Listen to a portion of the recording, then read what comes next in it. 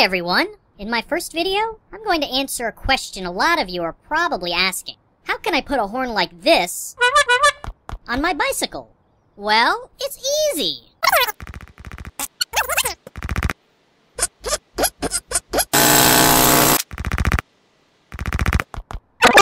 And there you go. If you like this video, be sure and hit the thumbs up button and subscribe to my channel. Let's see how my video's doing.